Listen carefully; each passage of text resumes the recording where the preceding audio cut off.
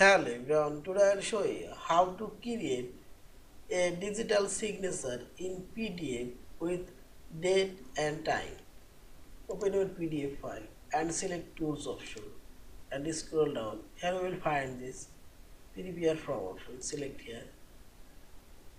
Now select this signature icon and do your signature box and select preview and click on this signature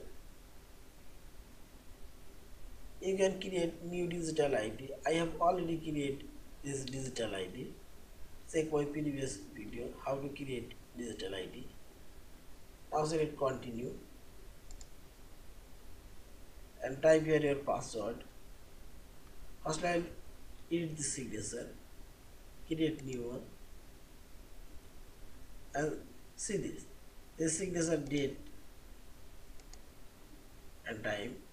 If you uncheck and say this date already gone and select date also I'll add location. As the location also added now I'll draw signature. And apply. And save.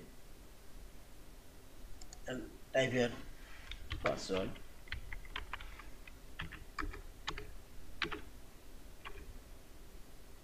and sign. Next up and see this.